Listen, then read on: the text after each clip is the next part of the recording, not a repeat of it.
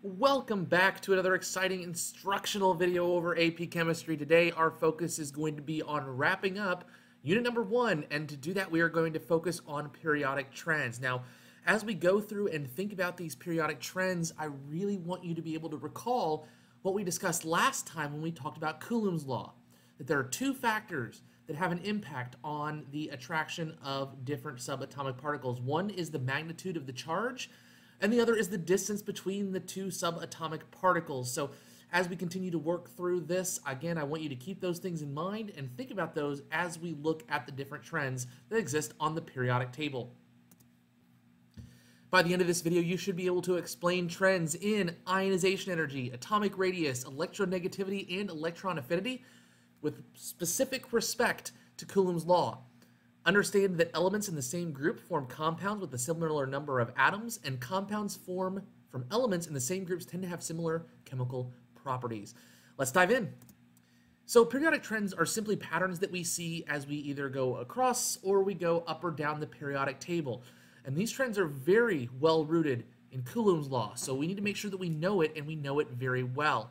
The four periodic trends we are going to look at are ionization energy, atomic radius, electron affinity, and electronegativity. Now, ionization energy is simply the amount of energy required to remove an electron.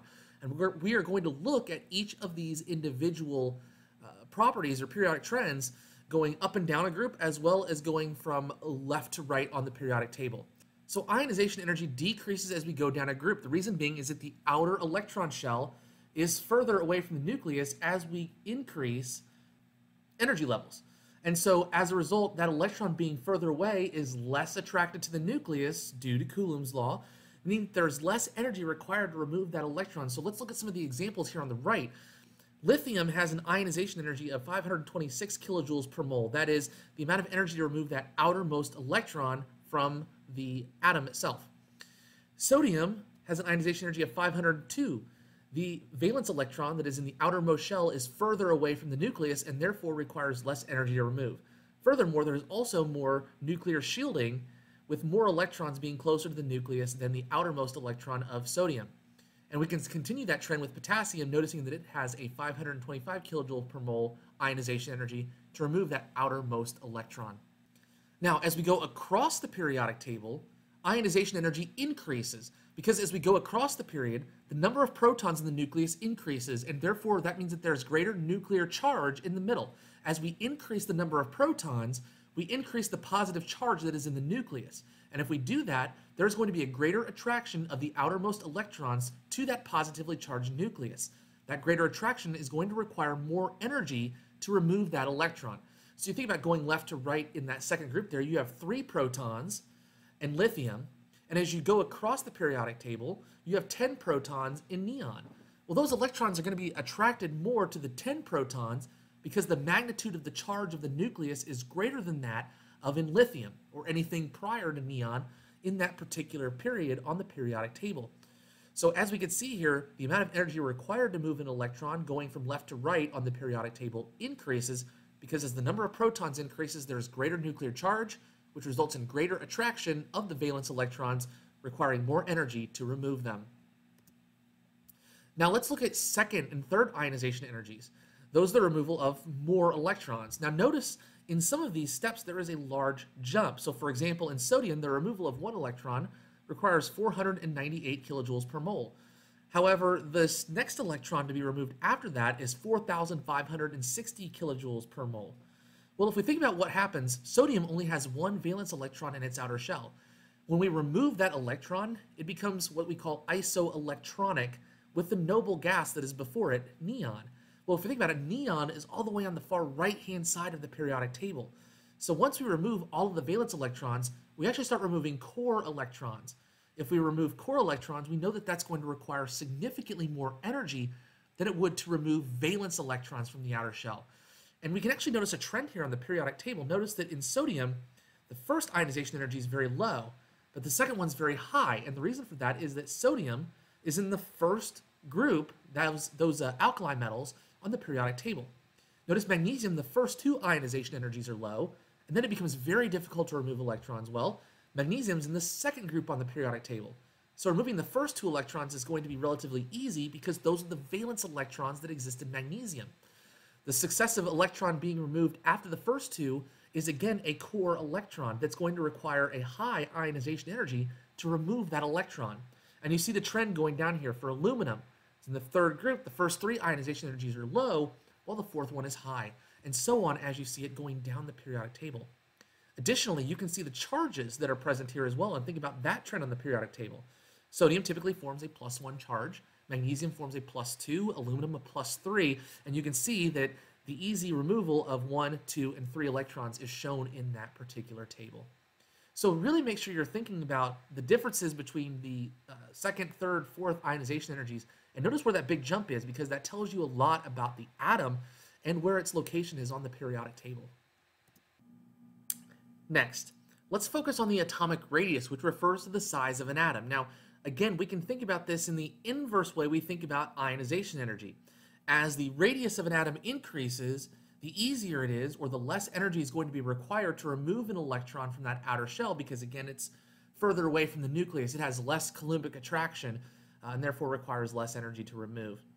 Now, atomic radius is going to increase as we go down a group as subsequent energy levels are further away from the nucleus due to increased nuclear shielding. So as we increase in energy level, those energy levels are further away from the nucleus, and therefore the radius of the atom is simply going to get larger. Just kind of makes sense.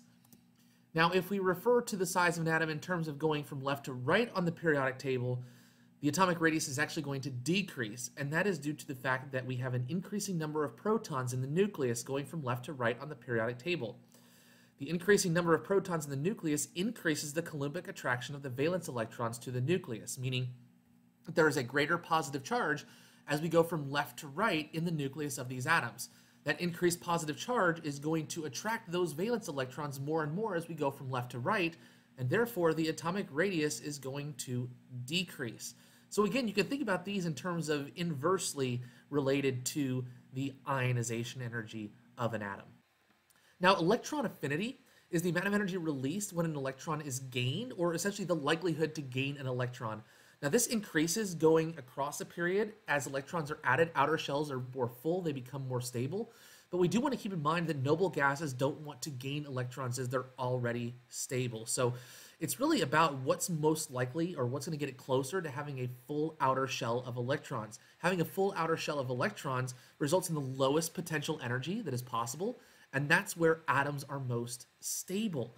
So as a result, we go across a period, outer shells become more full and more stable. So you look at lithium's not likely to gain an electron, it's more likely to lose an electron because it's easier to lose one to become uh, stable with helium, being isoelectronic with helium, than it is to gain 7 to become isoelectronic with neon, and so on.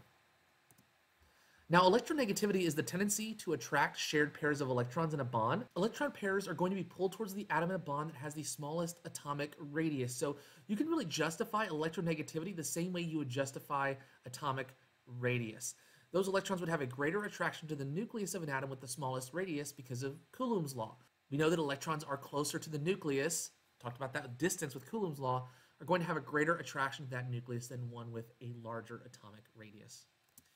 So let's explain why the atomic radius of chlorine is smaller than that of sulfur. Well, we notice that sulfur and uh, chlorine are in the same period in the periodic table. Chlorine has a smaller radius than sulfur due to the extra proton in the nucleus of chlorine. This extra positively charged proton increases the effective nuclear charge on the valence electrons in chlorine, which results in the electrons being pulled closer to the nucleus due to Coulomb's law. So it really is all about making sure we think about the positives and negative charges and how that plays a role in the attraction between the nucleus and those valence electrons. And it doesn't hurt to throw in the term Coulomb's law uh, just to make sure that the reader has a very strong understanding of what's going on. So let's talk a little bit about valence electrons and ionic compounds. Now, bond formation specifically is determined by the interaction of valence electrons and the nuclei of other elements. We're going to dive more into that in the next unit. But some things you want to keep in mind is that elements from the same groups on the periodic table tend to form analogous compounds. So let's take, uh, for example, magnesium. If we look at magnesium on the periodic table, it has a plus 2 charge. And uh, let's look at the uh, negative 2 charge column. So magnesium and oxygen are going to bond in a one-to-one -one ratio. Those charges cancel, just like what we've talked about previously. So Mg and O would form MgO as a compound. Well, if we go down uh, the minus 2 group, Mg and S would form MgS. It's the same kind of concept, the same one-to-one ratio. Uh, if we did Mg and F, Mg is a plus 2, F is a minus 1. So that formula is going to be MgF2. And as we go down that group, it would be MgF2, MgCl2, MgBr2, MgI2. We also do need to keep in mind that when these similar compounds form based off of similar columns in the periodic table, that many of these compounds have very similar chemical properties as well. Charges on atoms are determined by their periodic location. Again, that's determined by the number of electrons it either gains or loses in order to satisfy the octet rule. Um, so just kind of keep that in mind as you go through and uh, think about these different compounds and how they might bond with one another.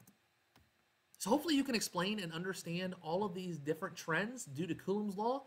Explain how elements in the same group form similar compounds with similar number of atoms and the fact that those are going to have similar properties as well. Hope you enjoyed the video. If you have any questions, make sure you let me know and we will see you guys next time. Take care. Bye-bye.